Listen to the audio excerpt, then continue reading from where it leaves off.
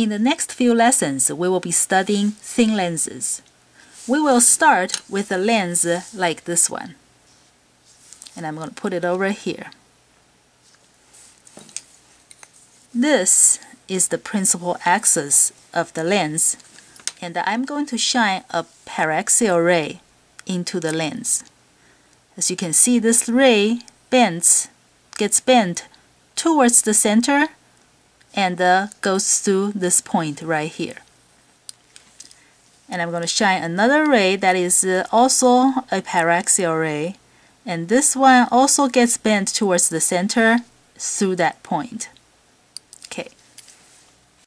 The reason why a lens like this bends the paraxial rays towards the center is because of refraction. This light ray goes through two refractions. You have refraction when the light ray goes from air into, say, glass, and then from glass into air. When it goes from air into glass, the light ray slows down, therefore, the angle should get smaller. Here I drew this uh, normal line to help us see the angle better. The, this is the angle of incidence.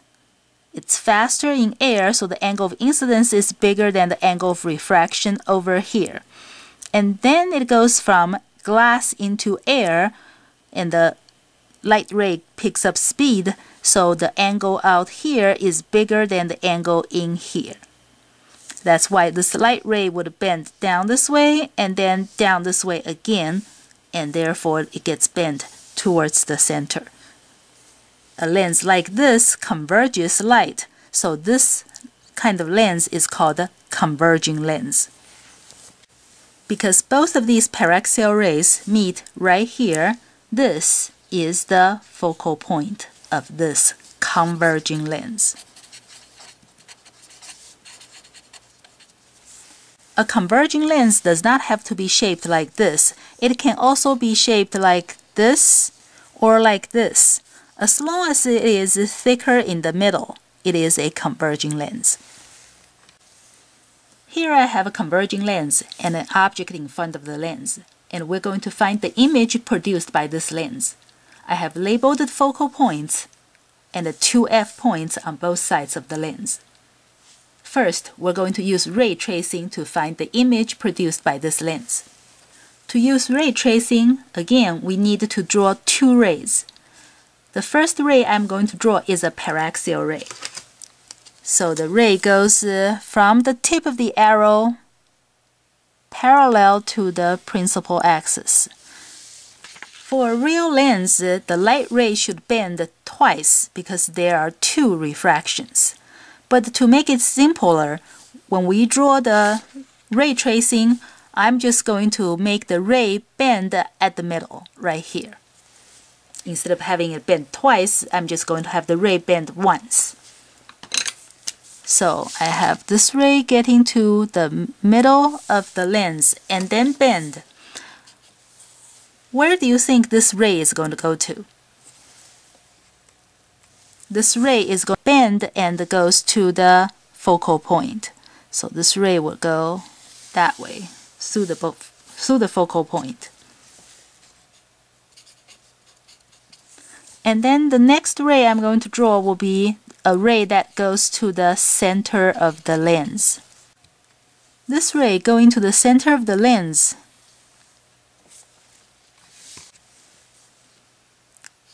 How do you think this ray is going to continue? Near the center, the two surfaces over here are kind of uh, parallel to each other. So it is like this ray is going through a rectangular block of glass, which means the ray is going to come out continuing on in the same direction.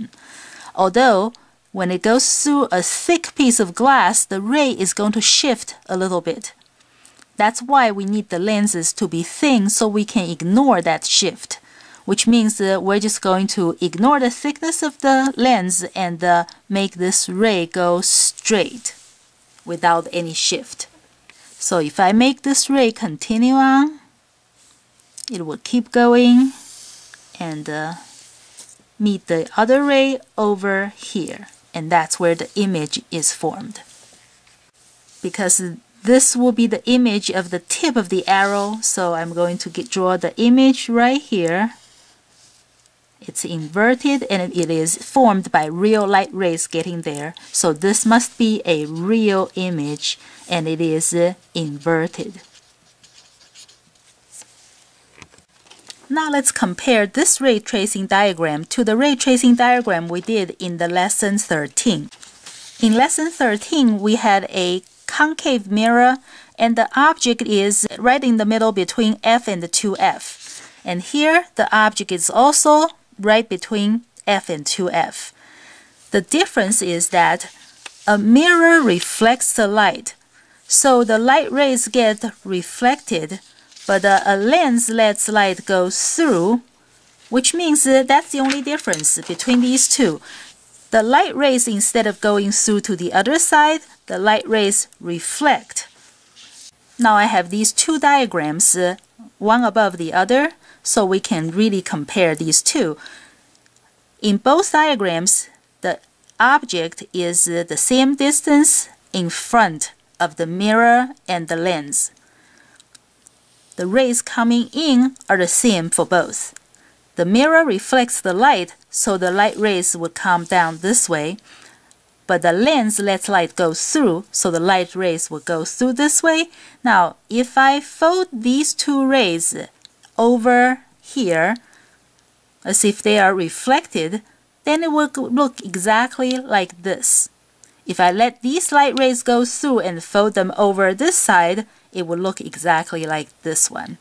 So a concave mirror and a converging lens, they form exactly the same kind of images. It's just that a mirror reflects light. So when, when a mirror forms a real image, the real image is in front of the mirror and a, a lens lets light go through. So when the lens forms a real image, the real image is on the other side of the lens. But in terms of the image distance, it is going to be exactly the same. The size of the image will be the same, and it's going to the real image will still be inverted just like that one. This means the same mirror equation, the 1 over dO plus 1 over di equals to 1 over f, is exactly the same for lens problems. So this is called the mirror lens equation. And the magnification, which is the HI over HO, it is also the same, negative DI over DO. So we use these same two equations for spherical mirror problems and the thin lens problems. Because a converging lens focuses light, converges light, so it has a positive focal length. If I say the focal length for this lens is 10 centimeters, and the object is at a DO that is 15 centimeters, and we want to find the DI we can use the same equation 1 over dO 15 plus 1 over di equals to 1 over f 1 over 10 and this will give us di that is uh, 30 centimeters. So the image is formed at 3 times the focal length away 30 centimeters. And if I want the magnification it would be that negative di over dO Negative di is 30, do is 15. So we get a magnification that is uh, negative 2. The negative means uh, it is a inverted image and the 2 means uh, the image size is twice that of the object. Another thing is that because light rays are retraceable, if this is the object in front of the lens, light rays will follow these paths and form an image over there. Then if the object is there, light rays will follow the same path but backwards and form an image over here. If the object is here, the image will be there. If the object is there, the image will be here. That's why the DO and the DI are interchangeable in the mirror and lens equation. But of course, this is only true for real images when both the O and the DI are positive. because only real light rays are retraceable. Light ray extensions for virtual images are not retraceable. So everything we talked about for concave mirrors can be used for converging lens. All these image properties apply to the converging lenses.